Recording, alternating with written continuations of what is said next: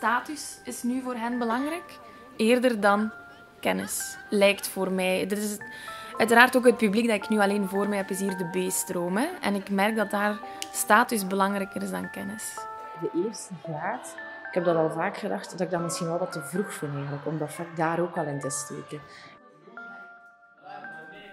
Wat is de hoofdstad van Portugal? Hoe berekenen we onze belastingen? Wat is het migratiepact?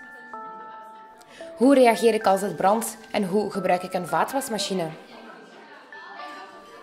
Sommigen weten er alles over, terwijl anderen er niet mee bezig zijn. Maar interesseren jongeren zich vandaag de dag wel in deze materie? En moet het onderwijs hier een tandje bij steken?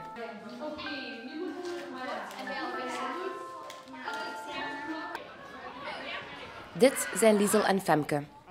Beiden zijn leerkrachten in de eerste graad van het secundair onderwijs. Liesel geeft de vakken Nederlands en maatschappelijke vorming en Femke geeft sociaal-technische vorming.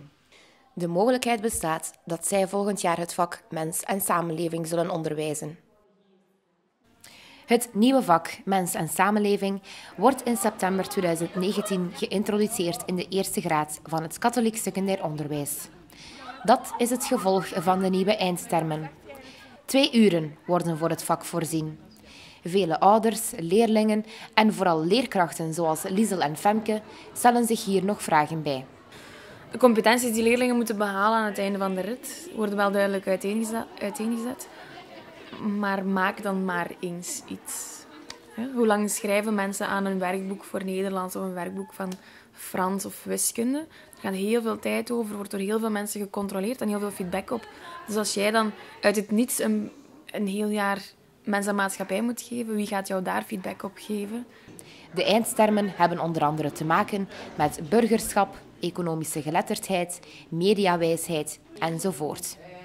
De competenties zijn nu meer uitgewerkt, zegt directeur-generaal van Katholiek Onderwijs Vlaanderen, Lieven Boeve. Vroeger bestonden die ook, maar vroeger moesten die nagestreefd worden. Nu moeten die gerealiseerd worden bij de leerling.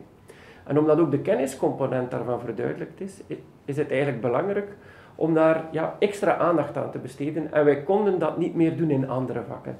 Vandaar dat wij beslist hebben om dat gedurende twee uur in het eerste jaar samen te brengen, zodat we zeker zijn dat alle leerlingen ze gehad hebben.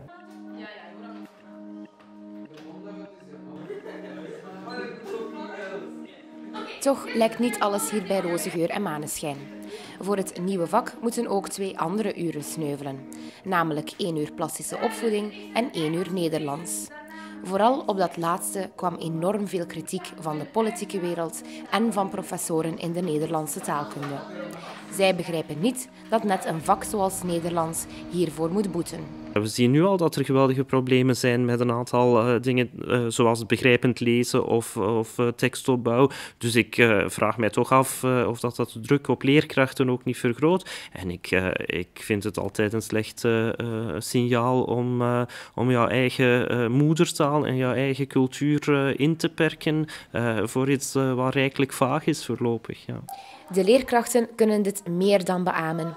Zij merken hier ook dagelijks problemen rond onze moedertaal bij hun leerlingen. Ik ben er toch wel enorm van, van geschrokken hoe allez, slecht het Nederlands is.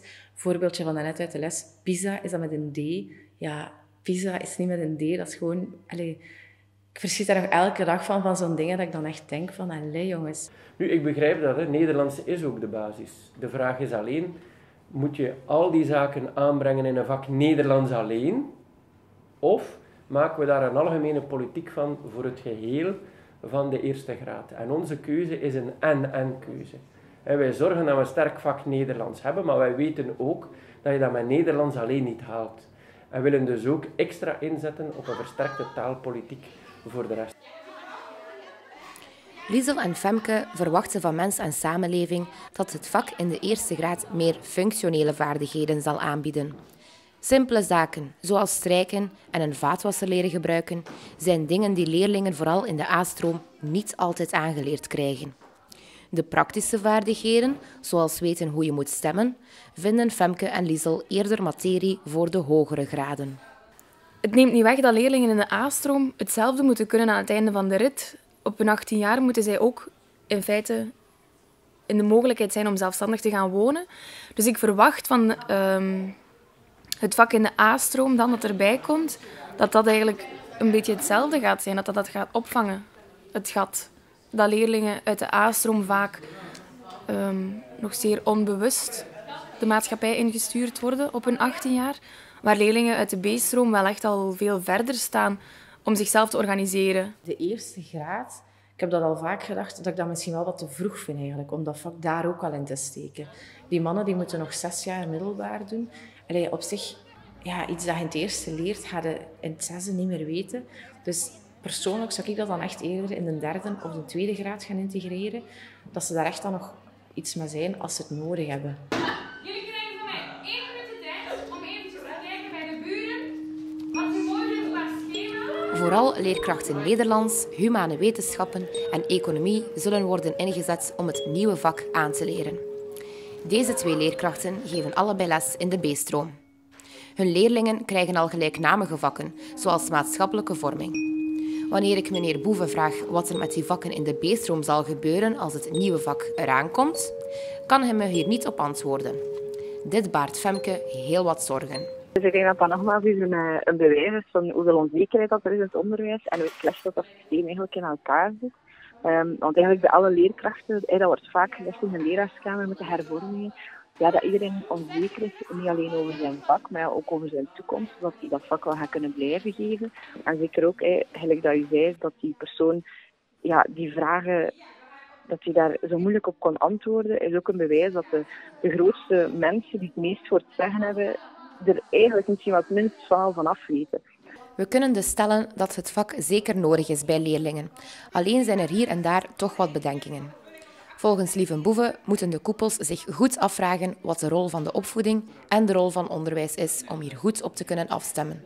En dan denken we dat mensen en samenleving, u leren, u, u leren oriënteren in die samenleving, daar leren mee omgaan, weten wat het is om consument te zijn, weten wat het is om mee te werken aan die samenleving, daar ook een rol in te krijgen, verantwoordelijkheid op te nemen, dat dat toch wel een belangrijke zaak is.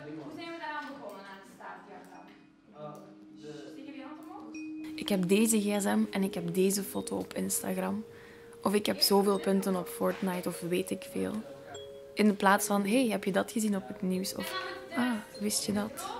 Vooral over vakken in de B-stroom is er nog heel wat onduidelijkheid. De meningen over de nieuwe eindtermen zijn verdeeld, omdat het tot op de dag van vandaag nog niet concreet is hoe mens en samenleving zal worden ingevuld. Er zijn nog veel vraagtekens die hopelijk zullen worden weggewerkt vooraleer het nieuwe vak wordt geïntroduceerd.